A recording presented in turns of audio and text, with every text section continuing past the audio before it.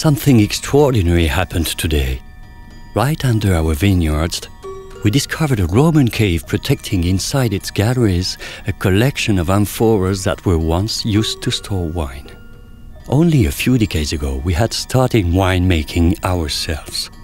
All we could have wished for was a cool place to store it. Could it be chance or a sign from destiny? One thing is for sure this place has always been blessed.